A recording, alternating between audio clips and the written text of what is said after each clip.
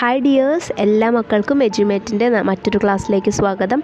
ഇന്ന് നമ്മൾ എടുക്കുന്നത് രണ്ടാം ക്ലാസ്സിലെ ഗണിതത്തിലെ ആദ്യത്തെ പാഠമായ ഒരു അവധിക്കാലത്ത് എന്നതിന്റെ തുടർച്ചയാണ്. അതിന്റെ അവസാന പാർട്ടാണ് നമ്മൾ ഇന്ന് എടുക്കുന്നത് അതായത് നാലാം ഭാഗം. കഴിഞ്ഞ മൂന്ന് ഭാഗങ്ങൾ കാണാത്ത കുട്ടികൾക്ക് വേണ്ടിയിട്ട് അതിന്റെ എല്ലാം ലിങ്കുകൾ ഡിസ്ക്രിപ്ഷൻ ബോക്സിൽ കൊടുത്തേക്കാം കണ്ടു നോക്കുക. അതല്ലെങ്കിൽ നിങ്ങൾക്ക് എസ് ടി ഡി ടു എന്നുള്ള പ്ലേലിസ്റ്റ് നോക്കിയാൽ നിങ്ങൾക്ക് എല്ലാ ക്ലാസ്സുകളും രണ്ടാം ക്ലാസ്സിലെ എല്ലാ ക്ലാസ്സുകളും ലഭിക്കുന്നതാണ്. ചാനൽ ആദ്യമായി കാണുന്നവരാണെങ്കിൽ ഒന്ന് സബ്സ്ക്രൈബ് ചെയ്ത് സപ്പോർട്ട് ചെയ്യാൻ മറക്കല്ലേ? അതുപോലെ തന്നെ നിങ്ങളുടെ കൂട്ടുകാരിലേക്ക് കൂടെ ഇതിന്റെ ലിങ്കുകൾ ഷെയർ ചെയ്ത് കൊടുക്കണേ.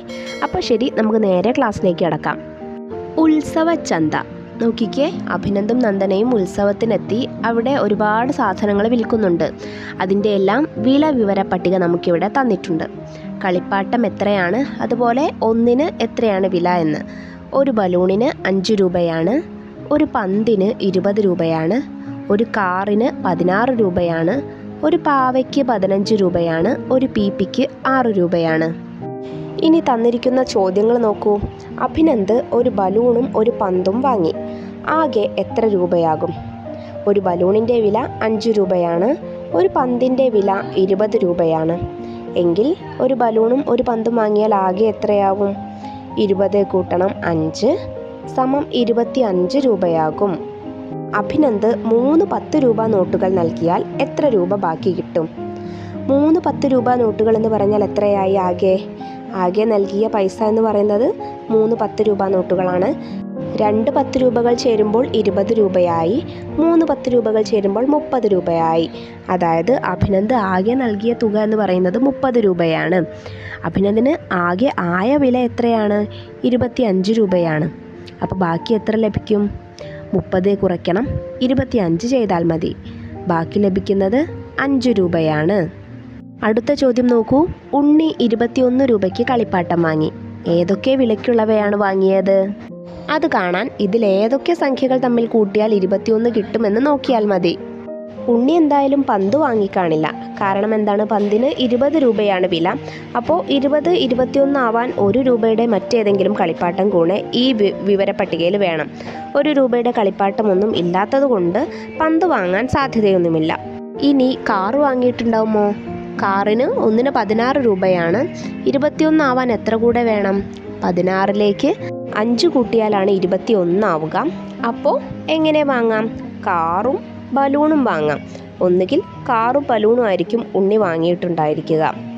ഇനി ഉണ്ണി പാവ വാങ്ങിയിട്ടുണ്ടാവുമോ? പാവയ്ക്ക് പതിനഞ്ച് രൂപയാണ്. പതിനഞ്ചിലേക്ക് ആറ് രൂപ കൂടെ കൂട്ടിയാലാണ് ഇരുപത്തി ഒന്ന് ആവുക. അപ്പോൾ പാവയും പി പിയും വാങ്ങിക്കാണും ചിലപ്പോൾ. കണ്ടോ? പി പിക്ക് ആറ് രൂപയല്ലേ? അപ്പോൾ ഉണ്ണി ഒന്നുകിൽ കാറും ബലൂണും വാങ്ങിയിട്ടുണ്ടാവും. അതല്ലെങ്കിൽ ഒരു പാവയും ഒരു പി പിയും വാങ്ങിയിട്ടുണ്ടാവും. അടുത്ത ചോദ്യം നോക്കിക്കേ. ഇതിൽ നിങ്ങൾക്കിഷ്ടമുള്ള രണ്ട് കളിപ്പാട്ടങ്ങൾ ഏവ? അവ വാങ്ങാൻ എത്ര രൂപ വേണം? നിങ്ങൾക്കിഷ്ടമുള്ള ഏതെങ്കിലും രണ്ട് കളിപ്പാട്ടങ്ങൾ തമ്മിൽ കൂട്ടി നോക്കിയാൽ മതി. ഞാനിവിടെ ചെയ്യുന്നത് എനിക്ക് ബലൂണും പി പിയുമാണ് ഇഷ്ടം. ബലൂണിന് അഞ്ച് രൂപയാണ് പി പിക്ക് ആറ് രൂപയാണ്. അപ്പോൾ അത് രണ്ടും വാങ്ങാൻ എത്ര രൂപയായിട്ടുണ്ടാവും? അഞ്ച് കൂട്ടണം ആറ് സമം പതിനൊന്ന് രൂപയായിട്ടുണ്ടാവും. അടുത്ത ചോദ്യം നോക്കൂ. നന്ദനയുടെ കയ്യിൽ ഇരുപത് രൂപയുണ്ട്. ഏതൊക്കെ വിലയ്ക്കുള്ള കളിപ്പാട്ടങ്ങൾ വാങ്ങാൻ കഴിയും? ഇത് കാണുന്നതിന് വേണ്ടിയിട്ടും നമ്മൾ നേരത്തെ ചെയ്തതുപോലെ ഏതൊക്കെ സംഖ്യകൾ കൂട്ടിയാലാണ് ഇരുപത് വരുന്നത് എന്ന് നോക്കിയാൽ മതി. ഒന്നുകിൽ പന്ത് മാത്രം വാങ്ങാം. ഒരു പന്ത് മാത്രം വാങ്ങാം. അല്ലെങ്കിലോ? ഒരു പാവയും ഒരു ബലൂണും വാങ്ങിക്കൂടെ?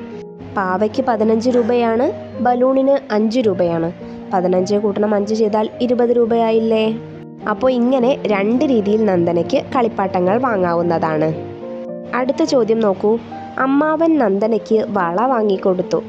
പത്ത് വള വീതമുള്ള രണ്ട് പാക്കറ്റും ആറ് വള വേറെയും. ആകെ എത്ര വളകൾ കിട്ടി? എങ്ങനെയാ ചെയ്യുന്നത് ഇത്? നോക്കിക്കേ. പത്ത് വള വീതമുള്ള രണ്ട് പാക്കറ്റാണ് ആദ്യം വാങ്ങിയത്. പിന്നെ ആറ് വള വേറെയും. അപ്പോൾ പത്ത് വള വീതമുള്ള രണ്ട് പാക്കറ്റ് എന്ന് പറഞ്ഞാൽ ആ രണ്ട് പാക്കറ്റിലും കൂടെ ആകെ എത്ര ഉണ്ടായിരിക്കും? ഒരു പാക്കറ്റ് ആണെങ്കിൽ പത്തെണ്ണം ഉണ്ടായിരിക്കും. രണ്ട് പാക്കറ്റ് രണ്ടാമത്തെ പാക്കറ്റിൽ വീണ്ടും ഒരു പത്തെണ്ണം കൂടെ ഉണ്ടായിരിക്കും. അപ്പോൾ രണ്ട് പാക്കറ്റ് എന്ന് പറയുമ്പോൾ അതിൽ എത്ര ഉണ്ടാകെ? പത്തേ കൂട്ടണം. പത്ത് ഇരുപതെണ്ണം ഉണ്ട്. ഇനി ആറ് വള വേറെയും വാങ്ങിയിട്ടുണ്ട്. അല്ലേ? അപ്പോൾ ഇരുപതിലേക്ക് ആറ് കൂടെ കൂട്ടുക. ഇരുപത് കൂട്ടണം ആറ് സമം ഇരുപത്തി ആറാണ് കിട്ടുന്നത്. അപ്പോൾ ആകെ എത്ര വളകളുണ്ട്? ഇരുപത്തിയാറ് വളകളുണ്ട്. ആ വളകൾ രണ്ട് കൈകളിലും ഇടണം. ഓരോ കൈയിലും എത്ര എണ്ണം വീതമിടാം? ഈ ചോദ്യം ചെയ്തു നോക്കുന്നതിന് വേണ്ടിയിട്ട് നമുക്കിതാ ഇവിടെ രണ്ട് പട്ടിക തന്നിട്ടുണ്ട്. ആദ്യം ഇടത് കൈയിൽ പതിനെട്ടെണ്ണം ഇട്ടാൽ വലത് കൈയിലേക്ക് എത്ര എണ്ണം ഇടാനുണ്ടായിരിക്കും? ഇരുപത്തിയാറ് കുറയ്ക്കണം പതിനെട്ട് ചെയ്തു നോക്കിയാൽ മതി. അപ്പോൾ ഉത്തരം എട്ട് എന്നാണ് വരുന്നത്. അതായത് ഇടത് കൈയിൽ പതിനെട്ടെണ്ണം ഇട്ടാൽ വലത് കൈയിൽ ബാക്കി എട്ടെണ്ണം കൂടെ ഇടാം. ഇനി ഇടത് കൈയിൽ പത്തൊൻപതെണ്ണം ഇട്ടാലോ? വലത് കൈയിൽ ഏഴെണ്ണം ഇടാം. ഇടത് കൈയിൽ ഇരുപതെണ്ണം ഇട്ടാലോ? വലത് കൈയിൽ ആറെണ്ണമേ ഇടാൻ പറ്റൂ. ഇടത് കൈയിൽ ഇരുപത്തി ഒന്നെണ്ണം ഇട്ടാൽ വലത് കൈയിൽ അഞ്ചെണ്ണം ഇടാം. ഇടത് കൈയിൽ ഇരുപത്തിരണ്ടെണ്ണം ഇട്ടാൽ വലത് കൈയിൽ നാലെണ്ണം ഇടാം. ഇടത് കൈയിൽ ഇരുപത്തി മൂന്നെണ്ണം ഇട്ടാലോ? വലത് കൈയിൽ മൂന്നെണ്ണം ഇടാം. ഇടത് കൈയിൽ ഇരുപത്തിനാലെണ്ണം ഇട്ടാലോ? വലത് കൈയിലാകെ രണ്ടെണ്ണമേ ഇടാൻ പറ്റൂ. അല്ലേ? ഇത്തരത്തിൽ നിങ്ങൾക്ക് ഇങ്ങനെ ചെയ്തു പോകാവുന്നതാണ്. ഇനി ചങ്ങാതി കണ്ടെത്തിയതും കൂടെ ഇവിടെ എഴുതി നോക്കണേ. ചങ്ങാതി ആദ്യം വലത് കൈ ഇടത് കൈയിൽ പതിമൂന്നെണ്ണമാണ് ഇട്ടത്. അപ്പോൾ വലത് കൈയിലോ? വലത് കൈയിൽ നമുക്ക് പതിമൂന്നെണ്ണം തന്നെ ഇടാൻ പറ്റുള്ളൂ. ഇടത് കൈയിൽ പതിനാലെണ്ണം ഇട്ട് നോക്കിയാലോ? വലത് കൈയിൽ പന്ത്രണ്ടെണ്ണം ഇടാം. ഇടത് കൈയിൽ പതിനഞ്ചെണ്ണം ഇട്ട് നോക്കിയാലോ? വലത് കൈയിൽ പതിനൊന്നെണ്ണം ഇടാം. ഇടത് കൈയിൽ പതിനാറെണ്ണം ഇട്ട് നോക്കിയാൽ വലത് കൈയിൽ പത്തെണ്ണം ഇടാം. ഇടത് കൈയിൽ പതിനേഴെണ്ണം ഇട്ട് നോക്കിയാൽ വലത് കൈയിൽ ഒൻപതെണ്ണമാണ് ഇടാൻ പറ്റുന്നത്. ഇതുപോലെ ഏതൊക്കെ സംഖ്യകൾ തമ്മിൽ കൂട്ടിയാലാണ് ഇരുപത്തിയാറ് കിട്ടുന്നത്? അത് ഇതുപോലെ ഇങ്ങനെ എഴുതി വെച്ചാൽ മതി കേട്ടോ ചെയ്തു നോക്കാം. കളങ്ങൾ പൂർത്തിയാക്കാം. നമുക്കിവിടെ നടുവിലായിട്ട് മുപ്പത്തിയാറ് എന്നൊരു സംഖ്യ തന്നിട്ടുണ്ട്. ഈ മുപ്പത്തിയാറിനെ പല രീതിയിൽ എഴുതി കൊടുക്കുകയാണ് വേണ്ടത്. ആദ്യം നോക്കൂ. മുപ്പത്തിയാറിൽ എത്ര ഒന്നുകളുണ്ട്? മുപ്പത്തിയാറിൽ മുപ്പത്തിയാറ് ഒന്നുകളുണ്ട്. മുപ്പത്തിയാറ് തവണ ഒന്നുകൾ എഴുതി കൂട്ടി നോക്കിയാലല്ലേ നമുക്ക് മുപ്പത്തിയാറ് എന്ന ഉത്തരം വരിക. അപ്പോൾ മുപ്പത്തിയാറ് ഒന്ന്. ഇനി മൂന്ന് പത്തുണ്ട്. പിന്നെയോ? മൂന്ന് പത്ത് എന്ന് പറഞ്ഞാൽ എത്രയായി? മുപ്പതായി. എത്ര ഒന്നുകളുണ്ട്? ആറ് ഒന്നുകളുണ്ട്. മുപ്പത് കൂട്ടണം ആറ് സമം മുപ്പത്തിയാറാണ്. അപ്പോൾ മൂന്ന് പത്ത് ആറ് ഒന്ന്. ഇനിയോ അടുത്തത് നോക്കൂ. രണ്ട് പത്ത് ഡാഷ് ഒന്ന്. രണ്ട് പത്ത് എന്ന് പറയുമ്പോൾ എത്രയായി സംഖ്യ? ഇരുപതായി. അല്ലേ? ഇനി അതിലേക്ക് എത്ര കൂടെ കൂട്ടിയാലാണ് മുപ്പത്തിയാറാവുക ഇരുപതിലേക്ക് പതിനാറ് കൂട്ടിയാലാണ് മുപ്പത്തിയാറാവുക അപ്പോൾ രണ്ട് പത്ത് പതിനാറ് ഒന്ന്. അടുത്തത് നോക്കൂ. ഏതോ ഒരു സംഖ്യയോട് ആറ് കൂട്ടിയാൽ മുപ്പത്തിയാറാവും അതേതാ സംഖ്യ? മുപ്പതാണല്ലേ? മുപ്പതിനോട് ആറ് കൂട്ടിയാലാണ് മുപ്പത്തിയാറാവുക അപ്പോൾ മുപ്പത് കൂട്ടണം ആറ് മുപ്പത്തിയാറ്. അടുത്തത് നോക്കൂ. മുപ്പതിലേക്ക് ഏതോ ഒരു സംഖ്യ കൂട്ടിയാൽ മുപ്പത്തിയാറാവും. അതെന്താണ് ആ സംഖ്യ? മുപ്പതിലേക്ക് ആറ് കൂട്ടിയാലാണ് മുപ്പത്തിയാറാവുക. അതുകൊണ്ട് മുപ്പത് കൂട്ടണം ആറ് മുപ്പത്തിയാറ്. അവസാനത്തേത് നോക്കൂ. പത്ത് കൂട്ടണം പത്ത് കൂട്ടണം ഡാഷ് ആറ്. പത്തിലേക്ക് പത്ത് കൂട്ടിയാൽ ഇരുപതായി. ഇരുപതിലേക്ക് ആറ് കൂട്ടിയാൽ ഇരുപത്തിയാറായി. ഇനി മുപ്പത്തിയാറാവാൻ എത്ര കൂടെ വേണം? ഇരുപത്തിയാറിലേക്ക് പത്ത് കൂടെ കൂട്ടിയാലാണ് മുപ്പത്തിയാറാവുക. അപ്പോൾ ഇവിടെ ഏതാ വരുന്നത് സംഖ്യ? പത്താണ്. പത്തേ കൂട്ടണം പത്തേ കൂട്ടണം പത്തേ കൂട്ടണം ആറാണ് മുപ്പത്തിയാറ്. അപ്പോൾ ഇങ്ങനെയാണ് ഈ കളങ്ങൾ പൂർത്തിയാക്കേണ്ടത്. അടുത്ത പ്രവർത്തനം നോക്കൂ. സംഖ്യ ഏത്? രണ്ട് പത്ത് മൂന്ന് ഒന്ന്. രണ്ട് പത്ത് എന്ന് വെച്ചാൽ പത്തേ കൂട്ടണം പത്ത് ഇരുപതായി. അതിലേക്ക് മൂന്ന് ഒന്ന് കൂടെ കൂട്ടുക. അപ്പോൾ സംഖ്യ ഇരുപത്തി മൂന്നാണ് അടുത്തത് നാല് പത്ത്. നാല് പത്തുകൾ ചേർന്നാൽ നാൽപ്പതായി. അടുത്തതോ പതിനാല് ഒന്ന്. പതിനാല് ഒന്നുകൾ ചേർന്നാൽ സംഖ്യ ഏതാണ്? പതിനാല് തന്നെയാണ്. അടുത്തത് നോക്കൂ. നാല് ഒന്ന് മൂന്ന് പത്ത്. നാല് ഒന്ന് എന്ന് വെച്ചാൽ ഒന്നേ കൂട്ടണം ഒന്നേ കൂട്ടണം ഒന്നേ കൂട്ടണം ഒന്ന്. സം നാലാണ്. മൂന്ന് പത്ത് എന്ന് പറയുമ്പോൾ പത്തേ കൂട്ടണം പത്തേ കൂട്ടണം പത്ത്. മുപ്പതാണ്. അപ്പോൾ മുപ്പതേ കൂട്ടണം നാല് സമം മുപ്പത്തിനാലാണ് സംഖ്യ. അടുത്തതോ ഒരു പത്ത് പതിനാല് ഒന്ന്. ഒരു പത്ത് എന്ന് വെച്ചാൽ സംഖ്യ എത്രയായി? പത്തായി. അതിലേക്ക് പതിനാല് ഒന്നുകൾ കൂട്ടി നോക്കുക. അതായത് പത്തേ കൂട്ടണം പതിനാല് സമം ഇരുപത്തിനാലാണ് സംഖ്യ. അതിന് തൊട്ടപ്പുറത്തുള്ള പ്രവർത്തനം നോക്കൂ. എങ്ങനെ എഴുതാം? ആദ്യം മുപ്പത്തിരണ്ട്. മുപ്പത്തിരണ്ടിനെ നമുക്ക് മൂന്ന് പത്ത് രണ്ട് ഒന്ന് എന്നെഴുതാം. അൻപത്. അൻപതിനെ നമുക്ക് അഞ്ച് പത്ത് എന്നെഴുതാം. പതിനെട്ട്. പതിനെട്ടിനെ നമുക്ക് പതിനെട്ട് ഒന്ന് എന്നെഴുതാം. അടുത്ത സംഖ്യ നാൽപ്പത്തി മൂന്നാണ് അതിനെ നമുക്ക് മൂന്ന് ഒന്ന് നാല് പത്ത് എന്നെഴുതാം. അടുത്ത സംഖ്യ ഇരുപത്തിയാറ്. ഇരുപത്തിയാറിനെ ഒരു പത്ത് പതിനാറ് ഒന്ന് എന്നെഴുതാം അടുത്ത പ്രവർത്തനം നോക്കാം. ഓരോ വരിയിലെയും ഏറ്റവും വലിയ സംഖ്യയ്ക്ക് ശരി അടയാളമിടുക ഏറ്റവും ചെറിയ സംഖ്യയ്ക്ക് വട്ടം വരയ്ക്കുക. നമുക്കിവിടെ മൂന്ന് വരികൾ തന്നിട്ടുണ്ട്. ആദ്യത്തേത് ഇരുപത്തിയഞ്ച് നാൽപ്പത്തിയെട്ട് മുപ്പത് പതിനെട്ട് ഇരുപത്തിയേഴ്. ഇതിലെ ഏറ്റവും വലിയ സംഖ്യ ഏതാണ്? ഇരുപത്തഞ്ചാണോ നാൽപ്പത്തെട്ടാണോ മുപ്പതാണോ? പതിനെട്ടാണോ? ഇരുപത്തിയേഴാണോ? അതെ നാൽപ്പത്തിയെട്ടാണ് അപ്പോൾ അതിന് ടിക്ക് ഇട്ട് കൊടുക്കുക. ഇനി ഏറ്റവും ചെറിയ സംഖ്യ ഏതാണ്? അതെ പതിനെട്ടാണ്. അതിന് വട്ടം വരയ്ക്കുക. അടുത്ത വരിയിൽ നോക്കൂ. അൻപത്തിരണ്ട് മുപ്പത്തിയെട്ട് അറുപത് എൺപത്തിയൊന്ന് എഴുപത്തിരണ്ട്. ഇതിലെ ഏറ്റവും വലിയ സംഖ്യ ഏതാണ്? അതെ എൺപത്തിയൊന്നാണ്. എൺപത്തിയൊന്നിന് ടിക്കിട്ട് കൊടുക്കുക. ഏറ്റവും ചെറിയ സംഖ്യയോ?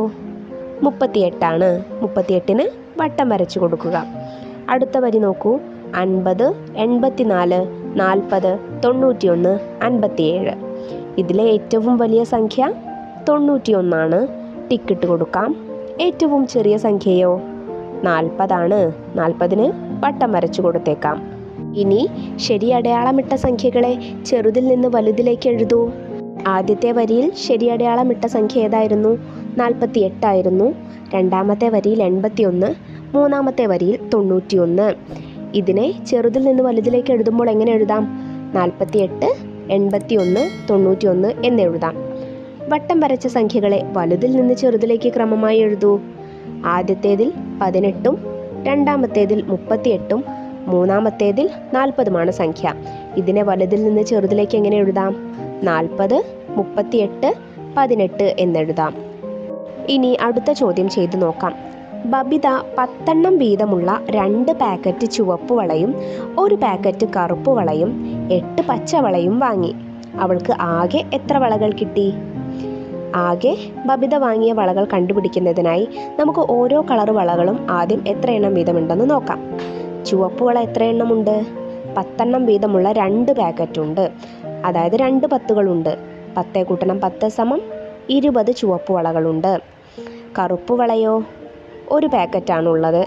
ഒരു പാക്കറ്റിൽ പത്തെണ്ണമാണുള്ളത്. അപ്പോൾ കറുപ്പ് വള സമം പത്തെണ്ണമാണ്. പച്ചവളയോ എട്ടെണ്ണമുണ്ട്. എങ്കിൽ ആകെ വളകൾ എത്രയാണ്? ഇരുപത് കൂട്ടണം പത്ത് കൂട്ടണം എട്ട്. ഇരുപതിലേക്ക് പത്ത് കൂട്ടുമ്പോൾ മുപ്പത്. മുപ്പതിലേക്ക് എട്ട് കൂട്ടുമ്പോൾ മുപ്പത്തിയെട്ട്. ആകെ വളകൾ സമം മുപ്പത്തിയെട്ടാണ്. അടുത്തൊരു ചോദ്യം നോക്കൂ. സഞ്ജുവും അച്ഛനും അമ്മയും ചേച്ചിയും സിനിമ കാണാൻ പോയി. നാൽപ്പത്തി ഒന്ന് മുതൽ തുടർച്ചയായി നമ്പർ വരുന്ന നാല് സീറ്റുകളാണ് അവർക്ക് കിട്ടിയത്. ഇതിൽ അവസാന സീറ്റിൽ സഞ്ജു ഇരുന്നു. അവന്റെ സീറ്റ് നമ്പർ എത്ര? എങ്ങനെ ചെയ്യാം? നാൽപ്പത്തി ഒന്ന് മുതലാണ് ഇരുന്നത് അല്ലേ? അപ്പോൾ ഒരാൾ നാൽപ്പത്തി ഒന്നിലിരുന്നു അടുത്തയാൾ നാൽപ്പത്തി രണ്ടിലിരുന്നു അടുത്തയാൾ നാൽപ്പത്തി മൂന്നിലിരുന്നു അടുത്തയാൾ നാൽപ്പത്തി നാലിലിരുന്നു അവരാകെ നാല് പേരല്ലേ ഉള്ളത്? നാൽപ്പത്തി ഒന്ന് നാൽപ്പത്തി രണ്ട് നാൽപ്പത്തി മൂന്ന് നാൽപ്പത്തി നാല് എന്നിങ്ങനെയാണ് ഇരുന്നത്. ഇതിലെ അവസാന സീറ്റിലാണ് സഞ്ജു ഇരുന്നത്. അവസാനത്തെ സീറ്റ് ഏതാണ്? നാൽപ്പത്തി നാലാണ് അതുകൊണ്ട് സഞ്ജുവിന്റെ സീറ്റ് നമ്പർ എന്ന് പറയുന്നത് നാൽപ്പത്തി നാലാണ് അപ്പോൾ ഇന്ന് ചെയ്ത പ്രവർത്തനങ്ങളൊക്കെ മക്കൾക്ക് മനസ്സിലായോ? ഇന്നത്തോടു കൂടിയിട്ട് ഈ നമ്മുടെ ആദ്യത്തെ പാഠമായ ഒരു അവധിക്കാലത്ത് എന്നതിലെ മുഴുവൻ പ്രവർത്തനങ്ങളും തീർന്നിരിക്കുകയാണ്. ക്ലാസ് മക്കൾക്ക് എല്ലാവർക്കും ഉപകാരപ്രദമായി എന്ന് വിശ്വസിക്കുന്നു. ക്ലാസ് ഇഷ്ടമായിട്ടുണ്ടെങ്കിൽ ലൈക്ക് ചെയ്യാനും അതുപോലെ തന്നെ നിങ്ങളുടെ കൂട്ടുകാരിലേക്കൂടെ ഷെയർ ചെയ്ത് കൊടുക്കാനും മറക്കരുതേ. നിങ്ങൾക്ക് എന്ത് സംശയം ഉണ്ടെങ്കിലും നിങ്ങൾക്ക് കമന്റ് ബോക്സിലൂടെ ചോദിച്ചറിയാവുന്നതാണ്. അതുപോലെ തന്നെ നിങ്ങളുടെ അഭിപ്രായങ്ങളും നിങ്ങൾക്ക് ഷെയർ ചെയ്യാം. മറ്റൊരു ക്ലാസ്സുമായി വീണ്ടും കാണാം. താങ്ക്